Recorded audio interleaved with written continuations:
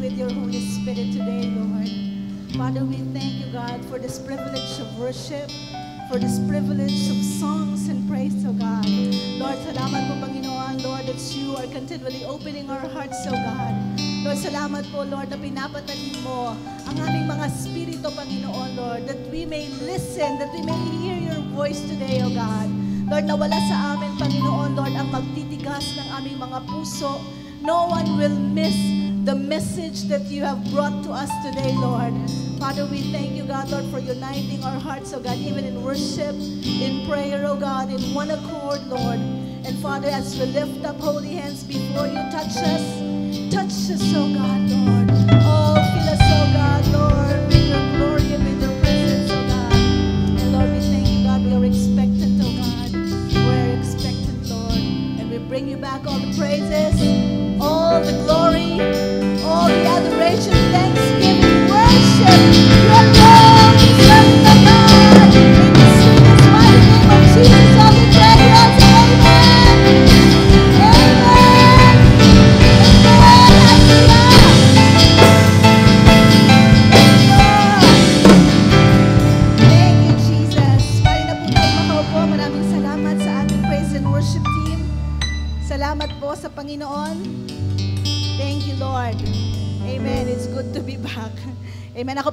nagpapasalamat in behalf po ng aking mga kasamahan. Yan sina Sister Mirlang, kanyang anak, at yung ilan pa naming mga kasama nung kami po ay ah, dumayo sa Israel, ang lugar, ang pinag-ugatan ng ating pananampalataya sa ating Panginoon. Salamat po of course sa ating mga senior pastors na si Bishop Jonathan Pastora Vicky who always cover us with prayers. Kailang-kailangan po namin yon dahil alam nyo, napakaganda po ng bayan ng Israel pero of course yung mga checkpoints nila, yung kanilang mga security ay talagang napakahigpit. No? At kami po ay nagpapasalamat sa oportunidad na ito na binigay ng ating Panginoon for us to be there and to even represent our nation in prayers at saka sa ilang mga bagay. Alam niyo, parang hindi lang po ito educational tour para sa akin bilang isang pastor.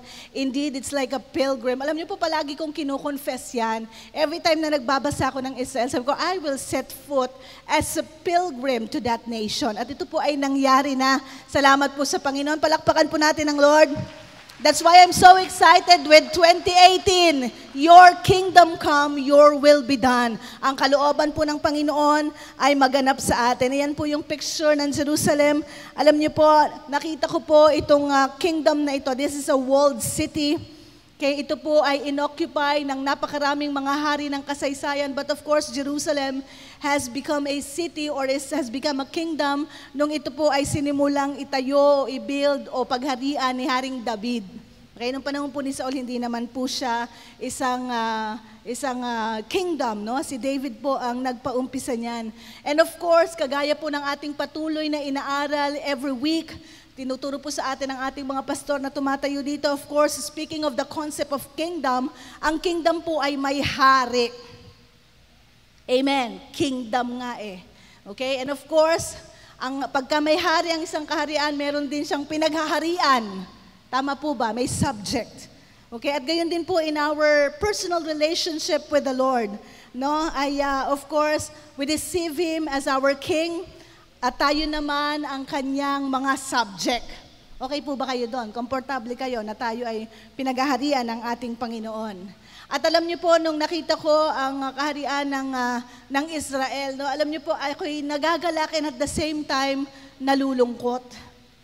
No, nung inaaral po namin yung history ng bayan na ito, no wonder, sabi ko, Lord, kaya pala ang, ang Panginoon naglament siya no, sa Israel kasi parang parang istorya din ng bayang Pilipinas.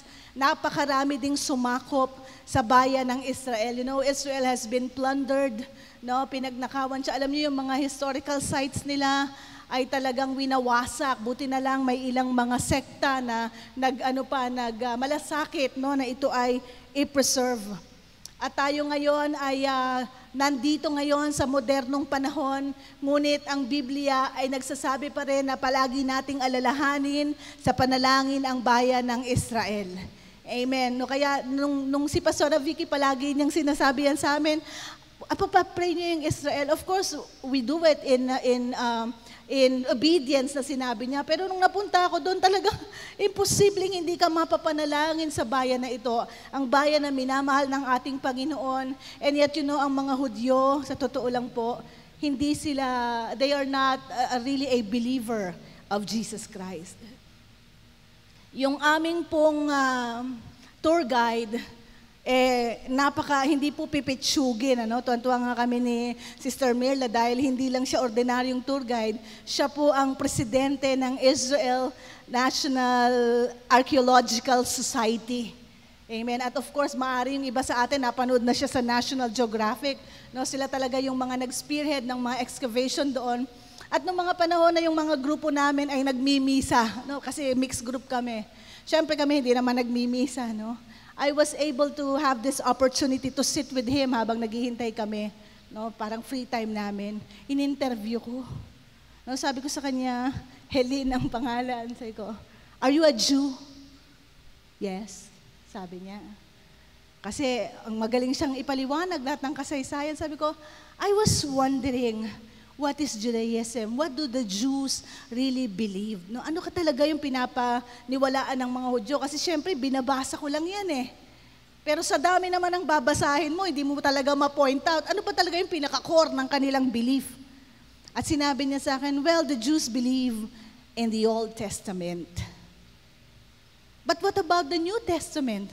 Sabi niya, well, sabi niya, we believe that there was once a man named Jesus who lived and was recorded in history. Alam niyo, nag-grieve yung puso ko. Kasi yung description niya, there was once a man who lived. May isa lang daw tao na minsan ay na, nabuhay sa kasaysayan. Sabi niya. Sabi ko, well, you, you taught us about Jesus and Mary and the disciples. Yeah, yeah, as a matter of history. Naalala ko tuloy, may mga ilan tayong mga Hudyong kaibigan na Messianic Jews. So tinanong ko, ano yung concept ng Messianic Jews? Kasi ang alam natin sa Messianic Jews, sila yung mga Hudyo na nakakilala sa ating Panginoon. Pero sabi niya, there is no such thing as Messianic Jew sa mga Hudyo. Siyempre sa atin, we, we accept that term. Pero sa mga Hudyo, kasi siya ay isang purong Hudyo. Okay? There is no such thing as Messianic Jew. Once you believe in Jesus Christ, you are no longer a Jew. Naku, talagang nadurog na naman yung puso ko. Of course, hindi ko pinapakita, no? kasi ayoko naman mag-engage into an argument with this man. Oh. So what do you believe in? Oh, we believe in God. Yung nababasa nila, they're, not even allowed to say the name of God. Kaya pala lahat ng mga historical site na pinuntahan namin, ibang sekta, ibang relihiyon na yung nagbabantay. Because the Jews, wala silang pakialam kung anong nangyari sa New Testament. And my heart is so grieving, Lord. Grabe, kaya ka pala ganito, nagbibleed ang puso mo sa mga Hudyo. Alam lang natin, pag sinabing Hudyo, matigas ang ulo, pero matigas ang ulo dahil ayaw nila acknowledge si Christ, pero iba pala talaga yung kaninang pinaniniwalaan. And yes, of course, Tama po yung ating senior pastor when she say na pag-pray natin ng Israel kasi ito ang bayan na mahal ng ating Panginoon. Mahal ng Diyos ang bayang Pilipinas. Amen po ba? Amen. Pero this particular nation is really where all things began. Amen. At yung mga tao na kung saan na, na dumating siya para sa kanila ay talagang nire-reject siya. Amen. So all the more na talagang nakita ko na habang nagbabasa tayo ng Biblia, mapalad ang bayang Pilipinas. Amen. Kasi hindi nagtigas yung puso natin sa sinasabi ng Panginoon. Lahat ng sinasabi ng Biblia at saka talagang mapalad tayo dito sa JCSGO. Bakit? Kasi we are preaching the full gospel of the Lord magmula sa Old Testament to the New. Hindi tayo kalahati. Hindi tayo partial. At tayo ay may laya na manalangin, may laya na sumampalataya, may laya na magbasa ng Biblia. Amen. Praise God. Alam niyo, ang Israel ngayon, 80% of the territories are Palestinian. Islam ang kanilang major religion doon ngayon. Konting-konti na lang ang mga nag, nagsasambang mga Hudyo and the rest, tatlo lang ang classification nila doon, Muslim, Hudyo, Christian. Kung hindi ka Muslim, either isa kang uh, purong Hudyo, at yung word na Christian doon, samot-sari na lahat ng relihiyon. Christian. Sabi ko, Lord, mapalad ang bayang Pilipinas. Amen. Kasi Lord, yung mga tao sa Pilipinas, malalambot ang puso na nung nagpahayag ka, nagpahayag sa atin ang salita ng Diyos, kung sino man ang naghayo, nag-evangelize sa atin, hindi natin shinyat down. Kaya tayo ngayon dito at nakakapakinig tayo ng salita ng Diyos. Ang salita ng Diyos ng buhay, hindi natin sinarahan ang ating mga puso sa katotohanan ng salita ng atin mo sa katabi mo, mabuti na lang naniniwala ka sa purong salita ng ating Panginoong Heso Kristo. Amen. Praise God. And of course, nung nakita ko yung mga kingdom na yan, sabi ko, Lord, syempre, ano ba yung concept ng pagiging hari? Di ba alam natin, pag hari, siya ang nasusunod. Tama po ba? Amen. Ang utos ng hari, hindi mababali. So if we parallel these things sa ating modernong kapanahunan ngayon, kung tayo ay talagang tumanggap sa ating Panginoong Heso Kristo, sino po dito ang nag-receive, tumanggap sa ating Panginoong Heso Kristo sa kanyang buhay? Taas ang kamay, taas ang kamay, taas ang kamay, taas ang kamay. Praise God. We receive Him as Lord, Panginoon ng ating mga buhay. We receive Him as our Savior, tagapagligtas ng ating mga buhay. And we also receive Him as King hari ng ating mga buhay. So kung ang konsepto ng pagiging hari ay siya ay nasusunod, ang utos niya ay hindi nababali, totoo nga kaya ito sa ating mga buhay. Siya nga ba talaga ang nasusunod sa atin? This morning we will talk about the concept of free will. Amen. Alam niyo, marami sa atin dito ay talaga namang gustong pagharian ng Diyos ang ating mga buhay. Tama po ba? Meron man nagsasabi, ay, ayoko. Ayokong paghari ako ni Lord. Siyempre, pag tinanong tayo, gusto mo bang pagharian ka ng Panginoon? Of course, ang sagot natin ay, Amen. Sabi ng hudyong sinas, uh, taga tour guide namin, hindi daw Amen. Amen daw yan talaga. Amen. Sabi niya, why do you always keep mispronouncing? Eh bakit gusto natin ng amen, amen? amen. So, many would say, no, marami na magsasabi na, eh Lord, binigyan mo naman kami ng free will. Natin, narinig nyo na yung concept ng free will? At minsan, sa totoo lang, ito ay gasgas na gasgas sa ating mga Kristiyano, yung free will. Eh bakit hindi naman talaga ako pinipilit ng Lord? Si Lord nga hindi namimil. Totoo naman yun, hindi ka pipilitin ni Lord. At tama naman, no? Merong such thing as free will. Pero I would like to correct the notion na hindi po ito ibinigay ng ating Panginoong Heso Kristo. Ang free will dates back, no, ito po ay bunga, even in the book of Genesis, when man disobeyed God. Kung babasahin po natin sa Genesis chapter 3, verses 4 to 5 in the contemporary English version, ang, ang, ang sinasabi po dito sa verse 4, ang unang statement doon, No, you won't. The snake replied. Kasi nagtatanong nun si Eva na, eh, hindi ko pwedeng kainin yan eh. Kasi sabi ng ano, bawal daw kainin yung bunga na yan. Sa verse 5, God understands what will happen on the day you eat from the tree. You will see what you have done. You will know the difference between right and wrong just as God does. So of course, alam po natin ang historya, kumain ang mga unang tao ng ipinagbabawal ng ating Panginoon, nabuksan ang kanilang mga mata, nagkaroon sila ng pagkakaunawa, nagkaroon sila ng choice. Equals free will. Because in the garden, wala naman such thing as free will. Meron lang mandate. Ang unang mga tao, ang kanilang, ang kanilang mandato, na sinasabi ng Panginoon sa kanila, ito yung gagawin nyo, ito yung mga bagay na inyong i-accomplish. Yes, Lord. Wala silang choice noon. It all started when they disobeyed God. So minsan iniisip natin yung free will natin is something that we can really freely use at our own convenience, at our own advantage. Pero if we will really look back, saan ba nagsimula yung free will na yan? We can see in the scripture. Ano ba ang ibig sabihin ng free will? It is the power to act without constraint. Ito'y kapangyarihang kumilos na walang nagbabawal. It is the power to act without constraint of necessity or faith. Hindi issue sa free will kung kinakailangan ba yan, yan ba talaga ang dapat. Free will nga eh. It is the ability to act at your own discretion.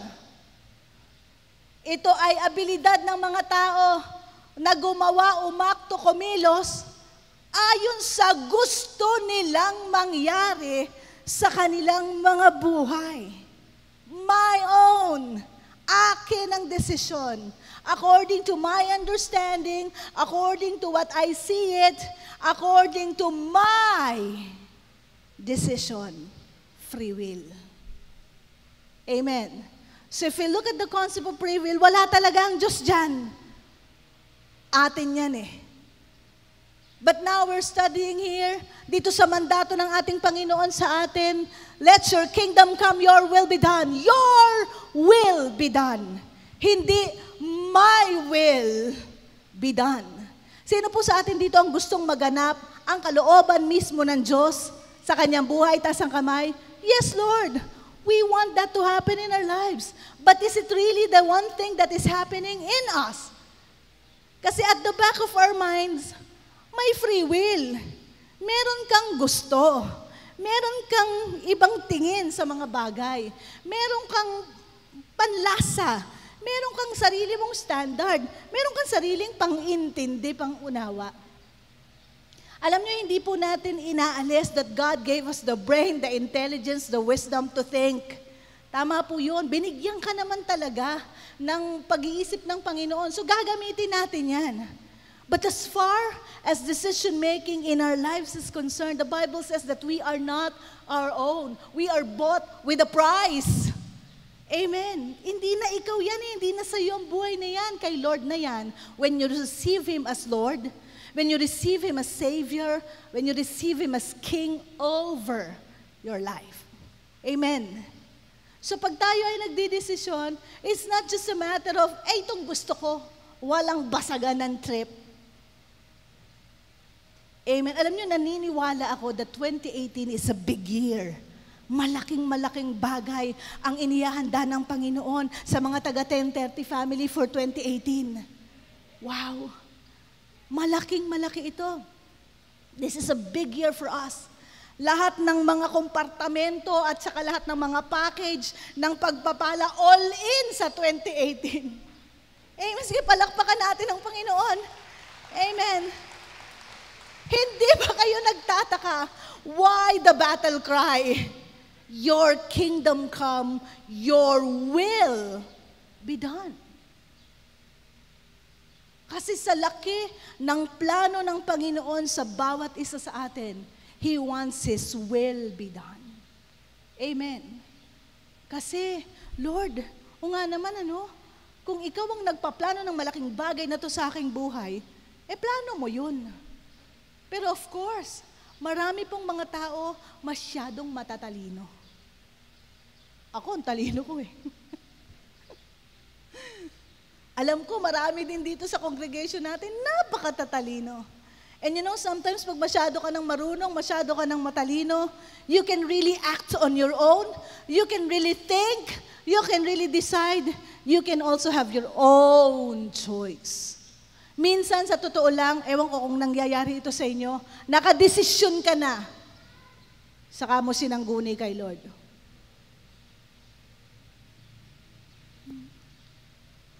Kumbaga, buo na yung pasya mo. Buo na yung plano mo. Kasado ka na. Saka mo sasabihin, Lord, bless my, my plan. Lord, Lord, lead me to do my plan. Nagawa mo na eh.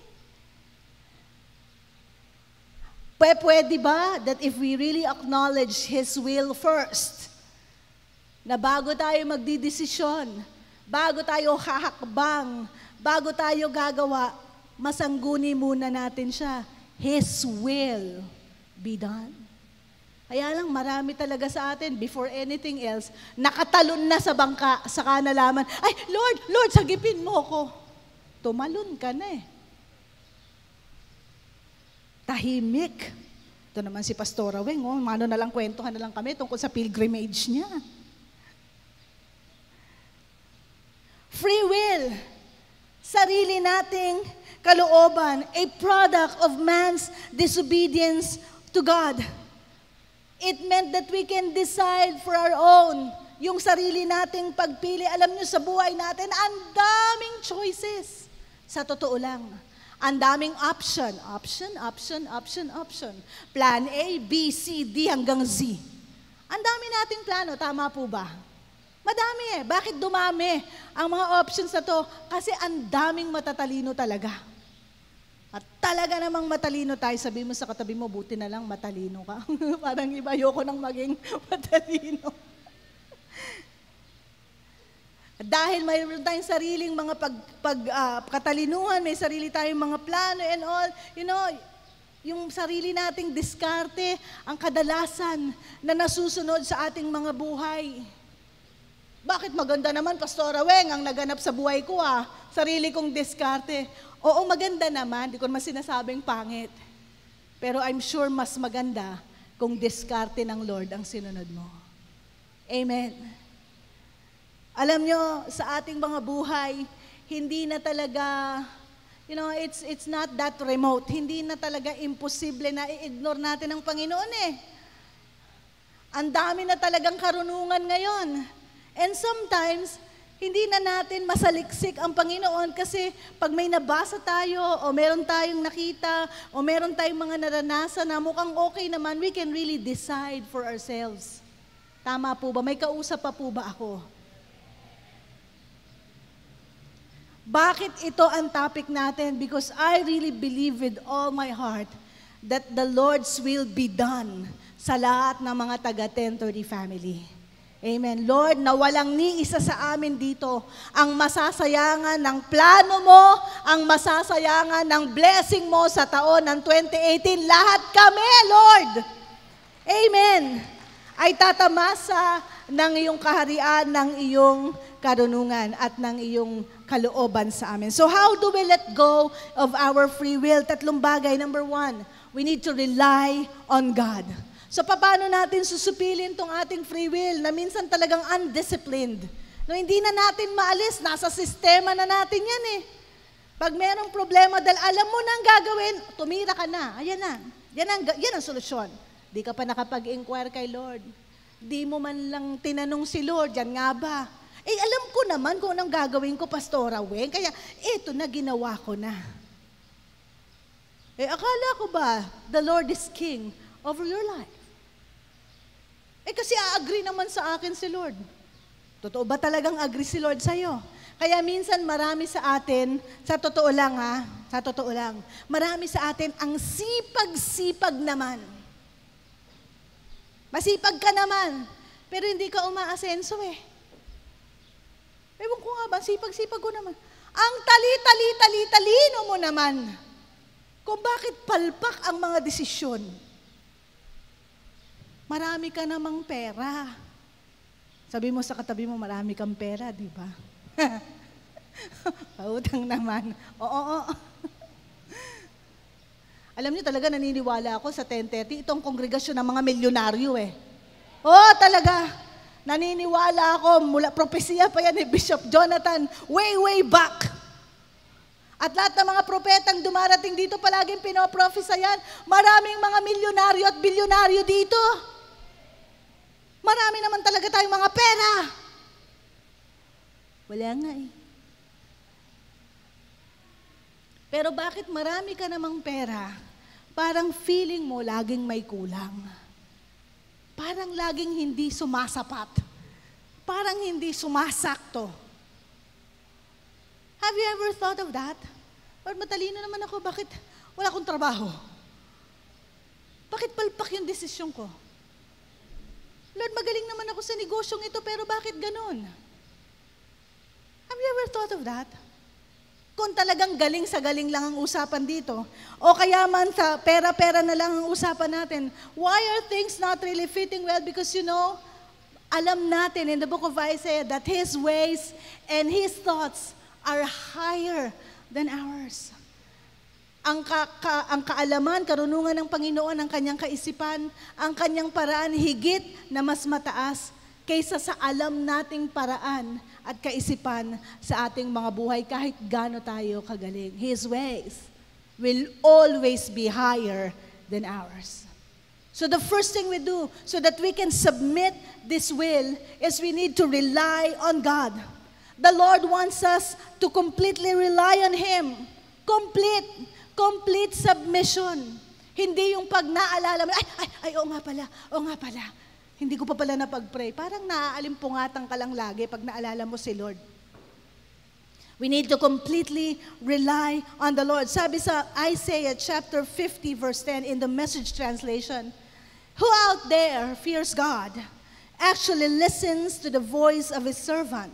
For anyone out there who doesn't know where you're going, Anyone groping in the dark hears what? Trust in God.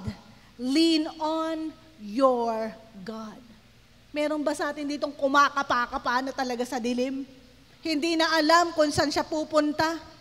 Paikot-ikot na lang ang kanyang buhay. Pakapa-kapa na lang kung anong makakapa. Hindi tayo dinisenyo ng Panginoon para kumapa sa dilim. Sabi mo sa katabi mo, hindi ka dapat kumakapa. You should know your way if you completely trust and rely on the Lord. Amen. Pero kaya tayo kumakapa para bang, alam niyo yon, kasi we're not sure. Kaya kakapa-kapa ka. Naalala ko nung we have our baptism in the River Jordan, para po sa mga nakakita ng post ko. Yan, binaptize ko si Sister Mirla at ang kanyang anak. Alam niyo, pagpunta namin doon sa Jordan River, talagang kahit man ako, gusto ko nang magbago ng isip. Kasi muddy yung, yung mismong river. Habang bumababa kami sa stadium, pagtingin ko, mag-green-green yung tubig. mag-green-green na ma-brown-brown. Sabi ko, Diyan talaga. Tinatry ko siyang kumbinsi, sigurado ka, magpapabaptize ka. Baka magbagong isip eh. Hindi, hindi ko na rin kailangang maglublob. Naintindihan ko kung bakit talaga nag, nag, nag, nag-tantrum si Naaman. Kasi biruin mo palublubin siya doon, the man, a man of stature. Doon sa burak. So when I was to dip there, kasi walang nagbabaptism kasi nga winter. So lahat ng mga turista doon, nandun sa stadium, click, click, click, click, picture ng picture doon sa river. Wala naman nagdidip kami lang. ang may matitinding pangangailangan ng close encounter kay Lord. We change our clothes at eto na, papunta na kami doon, magbabaptism kami in the River Jordan na muddy, maputik-putik. Talaga bang dito, Lord? Sabi ni Sister Mela, mauna ka piwing. Talagang akong mauna? Ako talaga, oh, ikaw mauna. Ayun, tapa ko ng paa kasi hindi ko alam kung gaano kalalim yun, di ba? Sabi ko. So, ma-identify ma, ma niyo yung kumakapa pa, di ba? Sabi ko. Tapos, mag, at habang papalayo ako ng papalayo, sabi ng mga turista doon, nagsisigaw, eh, Parang sila yung nene-nervous para sa akin kasi Kakapa-kapa akong ganun habang papunta ako sa water. Pero ganyan lang ho kababaw pala kasi may platform na. Kasi nga mud siya. No, para sa safety ng mga turista. Kasi hindi ko alam eh, yung lalim ng river, kaya kakapa-kapa ako. So ganun din tayo if we are uncertain, kakapa-kapa ka rin sa buhay na ito. Kumbaga, trial and error ang dating. Alam nyo sa ating Panginoon, there is no room for error sapagkat ang paraan ng Panginoon ay sure. Kung marunong tayong sasangguni sa ating Panginoon, there is no room for error. Hindi na nasasayang ang buhay natin sa trial and error. Titingnan ko kung hit ito or, or mag, magiging okay. Palpak na naman. Ito nga uli, itry ko uli, tingnan ko kung okay, palpak na naman. Imagine niyo yung cycle na yun, papalpak ka. But if we rely on God, sabi ng scripture sa Isaiah 50.10, trust in God. Lean on your God. Amen. Na tayo daw ay matutong magtiwala sa ating Panginoon. Proverbs chapter 3 verse 5 to 7, New King James Version, Trust in the Lord with all your heart and lean not on your own understanding in all your ways. Acknowledge Him, and He shall direct your path. Sa verse 7, ito palaging nilalaglag to pag kinukutong scripture na ito eh. Sa verse 7, Do not be wise in your own eyes. Fear the Lord and depart from evil. You know, this is a statement, itong verse 7 na to. This is a statement that causes us to err. No, ito yung statement na nagpapahiwatig kung bakit tayo nagkakamali, kung bakit tayo napupunta sa alanganin. Bakit? We try to be wise in our own eyes. Akala natin lahat ng ginagawa natin tama. May kakilala ba kayo na palaging tama? lahat ng sinasabi niya, laging siyang tama. Fear the Lord and depart from evil. When we start to be wise, no, kung tayo, when we start to feel wise, no, pag naramdaman natin, na feeling natin, lagi na lang tayo ang tama, then that's the tendency that we fall away from God. Kasi hindi mo na sasasaliksikin, total tama ka na eh. Sabi mo sa katabi mo, buti na lang, hindi ikaw ito, no? Hindi talaga. Gusto natin na saliksikin muna natin ang ating Panginoon. Wala sa atin ang tama lagi. May mga pagkakataon, yes, na tayo ay tama. But not because we are God, na lagi tayong tama. Probably, the Lord give us the grace for that particular time, pero not all the time. But if we rely on God, sinasaliksik natin ang ating Panginoon sa lahat Anong sabi dun sa Proverbs? In all your ways, acknowledge Him. Bago ka naman lang humakbang, tumawag ka naman kay Lord. Kalabitin mo yung katabi mo, sabi mo, bago. Bago ha? Yung iba, tumalon na eh. Amen. Bago. Amen. At alam nyo, yung reliance natin pagka ganito na naging wise tayo sa ating sariling mga mata, now this becomes our pride. Pag feeling mo ikaw na talaga ang tama, tamang-tama ka na sa sarili mo, then that becomes pride. Our reliance is outside the Lord, outside God, outside His will, kasi ikaw na nga ang tama. Minsan, akala natin yung issue ng pride, ay yun lang mga taong mayayabang. Alam niyo yung mayayabang? Yung pag dumarating, parang may intensity 1,000 na hangin. Kala natin ganun lang yung mayabang, eh, yung prideful. Pero actually, yung isa sa mga uh, attributes ng kayabangan o ng pride, yung pagmamataas, ay yung feeling mo lagi kang tama. Ikaw na lang lagi ang tama. That's why it points us to the next. The first one, we rely on God. The second thing, resist the devil. Ang pinag-uusapan natin, paano natin ipapasakop ang ating free will sa ating Panginoon. Nandyan na yan. But we need to discipline it. Put it in subjection to Christ. Sa James chapter 4, verses 6 to 7, New King James Version, Therefore he says, God resists the proud, but gives grace to the humble. Therefore, therefore, submit to God, resist the devil, and he will flee from you. We need to resist this temptation na alam natin. Tayo ay magpakumbaba, Panginoon, bagamat feeling ko, alam na alam ko na, Lord. Nagsasaliksik ako sa iyo, I might be wrong. in my decision. Amen. Praise God. Resist your inclination to do it. Kailangan saliksikin muna natin ang salita ng Panginoon sa lahat ng ating gagawin. If God resists you, kahit na anong galing mo, it will always result to nothing.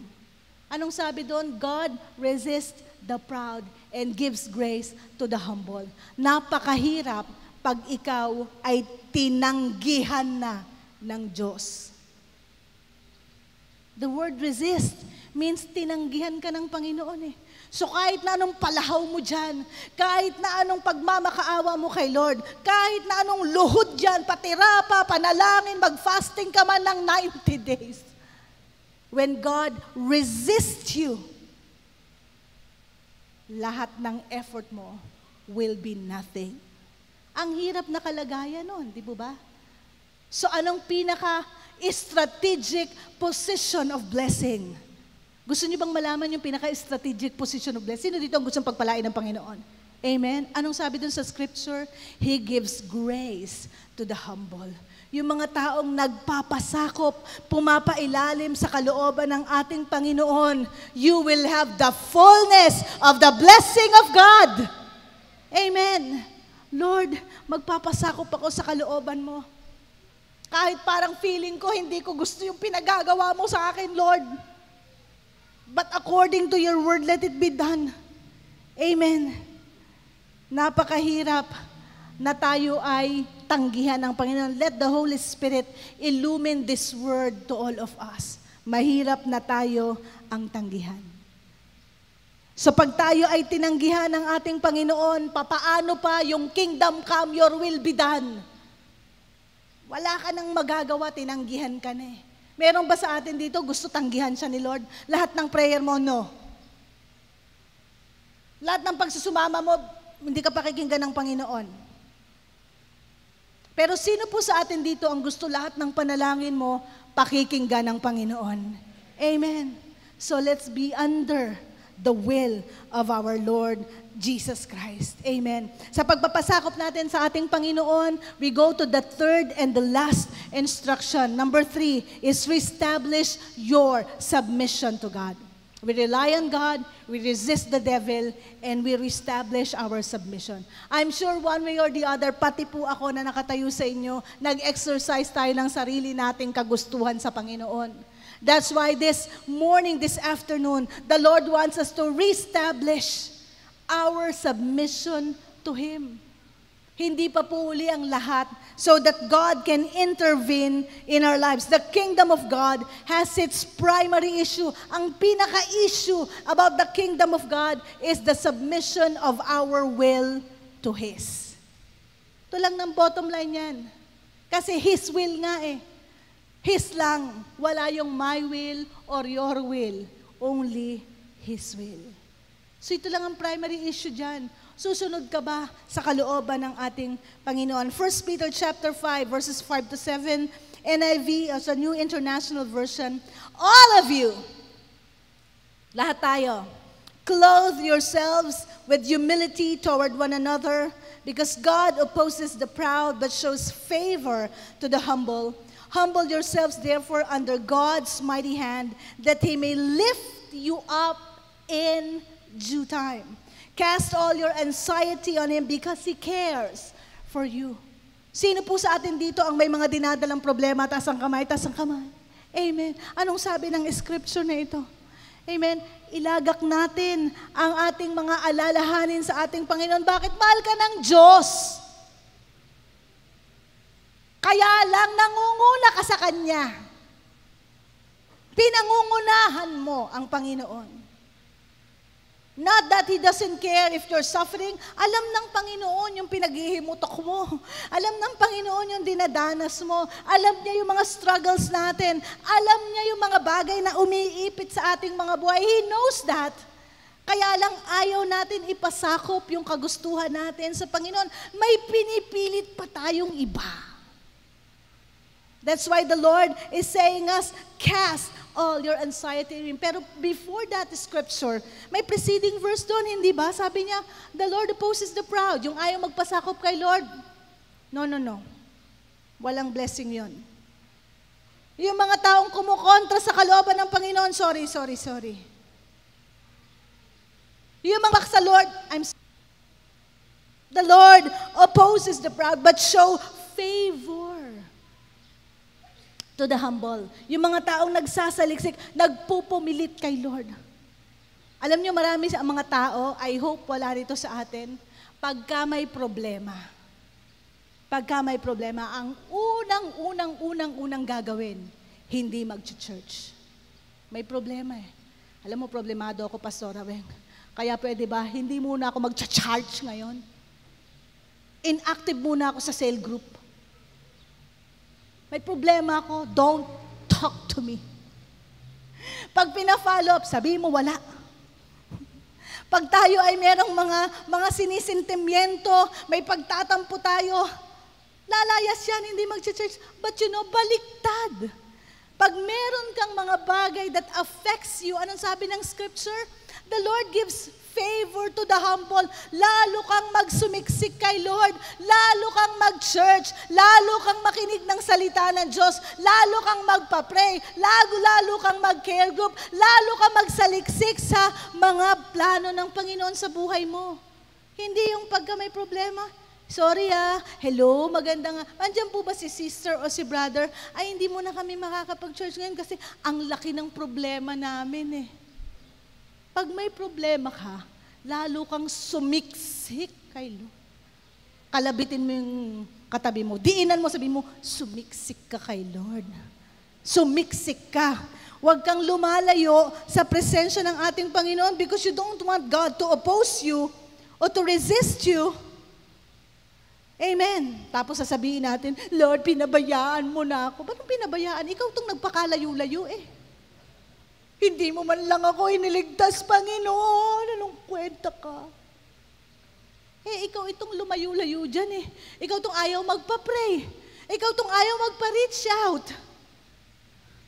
Lalo nating ilapit ang ating mga sarili sa Panginoon because apart from Him, we are nothing. John 15, verse 5 I am the vine, you are the branches. He who abides in me and I in him bears much fruit, for without me you can do nothing. Sapagkat kung wala ang Panginoon sa ating mga buhay, wala naman talaga tayo. Marami nga sa atin, dapat patay na ngayon eh. But ever wonder, nakaupo ka pa dyan, listening to the Word of God, enjoying life. Bakit? Because of the grace and the favor of God in your life. Amen. Yung iba sa atin, hirap na hirap sa buhay nila, na para bang tinalikuran na siya. Eh, ba't ka ba naghihirap? Kasi hindi naman yan ang plano ng Panginoon sa'yo. Alam naman natin ang plano ng Panginoon sa atin to prosper us, to harm, not to harm us, to give us a hope and a future. Jeremiah 29.11. Pero bakit ganon yung ating mga iniisip? Kasi tayo mismo ang nagpapakalayo-layo sa ating Panginoong Heso Kristo. This afternoon, I pray na tayong lahat, we will reestablish. Babalik tayo sa ating Panginoon. Tatalima tayo. If you're experiencing some trouble in your life, hindi pa po too late. Magpasakop tayo sa gustong mangyari ng ating Panginoon. Lord, I pray na dito sa aming congregation, walang magiging bingi at walang magtitigas ang puso sa mga dapat na nais mong gawin sa ating mga buhay. Amen? Ano yung tatlong bagay para mapasakop natin ang ating mga sariling kaisipan sa Panginoon? We rely on God. Number two, we resist the devil. And number three, we reestablish our submission to God. Tayo pong lahat ay tumayo and let's pray. Let's all rise up.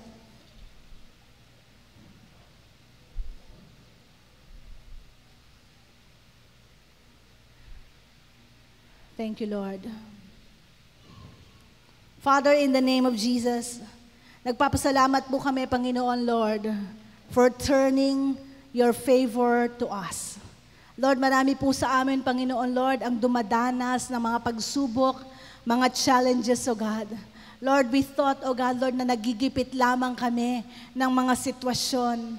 But now you're opening our eyes and our heart of understanding, Lord, na kaya pala nangyayari ito, Lord, meron din kaming mga bagay na dinidesisyonan labas sa kalooban mo sa aming mga buhay. Father, this morning, renew our mind, Lord. Renew our hearts, O God. Lord, ipihit mo kami sa mga plano mo, sa kalooban mo. Lord, it's never too late, O God. Lord, you will intervene for your people. Lord, sasagipin mo kami. Lord, as we continue to establish in our lives that you are our Lord, ikaw ang aming Panginoon. You are indeed our Savior, tagapagligtas. Ikaw din ang aming hari, Panginoon. Lord, ikaw ang masunod sa aming mga buhay. Father, if there are some times, Lord, sa mga buhay namin, na nauna kaming magdesisyon sa iyo, hindi ka namin sinangguni. And we relied on our own wisdom. We become wise in our own counsel. Lord, patawarin niyo po kami, Panginoon. We submit to you our will. Pagharian mo ang kalooban namin, Panginoon. Not our will, O God, but yours be done. Lord, we thank you, God. Taas po natin ang ating mga kamay sa ating Panginoon. Let's just pray to God. Lord, bawat isa po sa amin may mga prayer concern. At dalangin po namin, Panginoon, Lord, that our complete reliance is upon you, Lord. Lord, marami sa amin matatalino, we cast all this wisdom to you, O God. Lord, sa, sa inyo po, Panginoon, Lord, paanan, ay sinusurrender namin ang mga katalinuhan na to. Lord, yung paraan namin, our ways, that is not your way, O God. Lord, sa iyo na ito. Lord, yung mga diskarte namin sa buhay, sa iyo na rin ito, Panginoon, Lord. We do not want to call it our own, Lord. We want your will to happen in our lives, O God. At Lord, salamat po, Panginoon, Lord, this morning. Lord, yung sino man sa amin, Panginoon, Lord, ang may mga matitinding pangangailangan, Panginoon, cause wisdom, Lord, to flow through us, O God. Lord, salamat po, Panginoon, Lord. Yung may mga sakit sa amin, Panginoon, this morning, O God. Father, we thank you, God, Lord, that you will reach out to us, Lord. Kung meron kaming mga pag maabuso sa aming mga katawan, Lord, that causes us, Lord, to acquire this sickness, forgive us, Lord. Forgive us. In the name of Jesus. Hora mashandara masikederiando roboshadara bayan. Lord, this morning, O God, Lord, siyasatin mo, banal na Espiritu, ang lahat ng area ng buhay namin where you want us completely submitted to you. Marami po sa atin dito, nakakompartment lang ang ating relasyon at pagsunod sa Panginoon.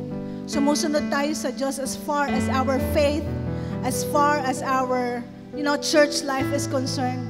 Pero maraming bagay, even our personal lives, family lives, business, especially in our finances, na hindi natin mapasakop sa ating Panginoon. And the Lord wants us to resubmit our lives, this area of our lives to Him. Alam niyo po, meron po akong dalang langis mula po sa Israel. This is made of frankincense and myrrh. Ito po yung tawag nilang prosperity oil. This morning, kung meron po kayong mga, alam ko, finances. okay. If you will have with you a token of your finances, parang wallet, business card, or anything, I will pray for you. Lalagyan po natin yan ng oil. At hindi ko kayo mapapasalubungan lahat. But my prayer with you today is na lahat ng taga 1030 family will experience financial breakthrough and miracle this year 2018. Na walang ni isa sa atin no, ang maghihirap at hindi talaga makakaangat sa ating kabuhayan. Karamihan ng mga pinag-uugatan ng ating problema, pera talaga eh. And you know, the Lord is telling us this day that if we can completely submit to God as far as our finances are concerned, God can create a miracle in our lives. Amen. So if you need some area. Kahit hindi po area ay finances, if you want prayers for your healing, just come here and I will pray for you. Mag, mag-general prayer po tayo and just dab oil sa inyo pong mga token o sa inyo pong mga noo. Just come here in front if you need prayers. Sige po, thank you. Salamat po. Just come. Amen. Kung lahat po kayo pupunta. Sikan ko na. Amen. Talagang puro pera ba talaga ang issue natin? Pera talaga. Pwede rin may sakit. Lord, thank you, God. We'll have a general prayer for this. Tapos idadab ko na lang po yung oil sa inyo. Panginoon, maraming salamat po.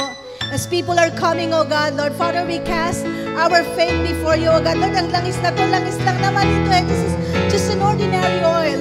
But more important than the oil is our faith that we're completely submitting to you today, oh God.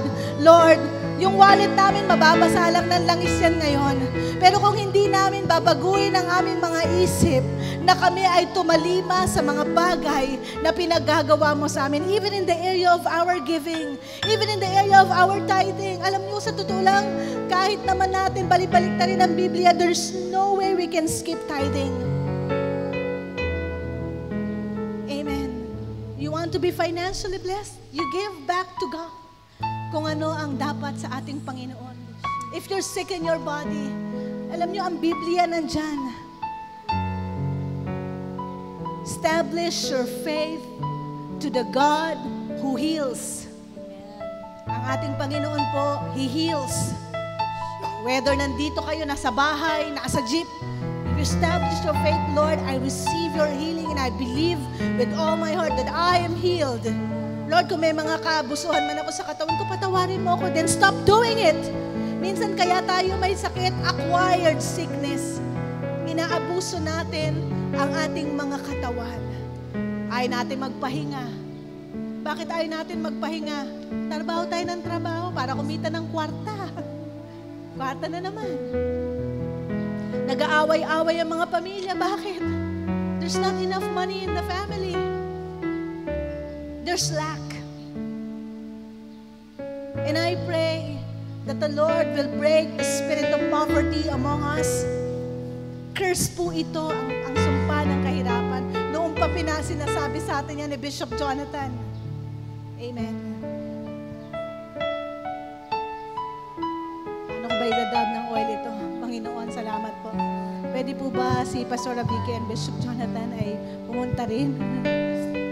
Can I have a, a, a cup so I can distribute oil? Let's lift up our, our hands to God and let's pray. Let's pray. Pahingi pong cup, please. Thank you. Thank you, Jesus. Come on, habang tinataas niyo po ang inyong kamay sa Panginoon, magsimula po kayo. Nakausapin ng Panginoon. Kausapin po natin siya, surrender natin yung mga areas ng buhay natin. Meron ba tayong mga family conflict na ikaw ang dahilan?